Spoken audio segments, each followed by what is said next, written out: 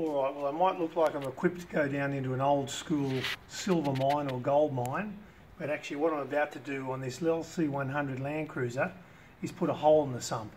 Sounds crazy, but what we're actually doing is we're just finishing off a turbo install on this 1HZ. We've been doing them for a very, very, very long time. And even this little poker, of course, has been smashed on the head that many times. It's really quite flattened out. So it shows you how many of these we've done, thousands of them. So I've already aligned it up and I put a few dents in there already.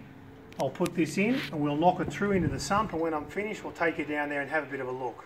It's a bit of a controversial thing for some people. How do you put the hole in the sump?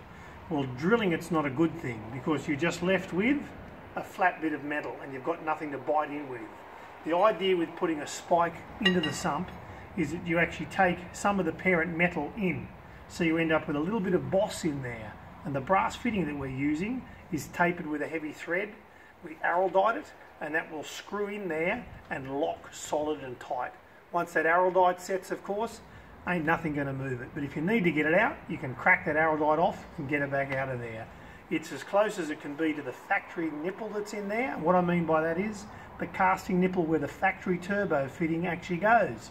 Because on the Toyotas, the 1H is the 1HZ, no turbo, and the 1H DT, factory turbo. So they're still a 1H block, and that means that the block and all is virtually the same. So I'll go in there and we'll drive this in, then you guys can have a little bit of a look at what's going on. So we're just about done. Well, that was pretty easy, non-eventful. There's nothing on the other side. Again, we know where to put it in here because we've been doing it for a very long time. And that's pretty much it. So next time you're going to trust your beautiful four-wheel drive into somebody's hands, make sure it's somebody that's got the experience, that's done it many, many times before. And if it is done, we say turboing a non-turbo engine is extremely successful and going to last a very, very long time as long as it's set up and tuned correctly.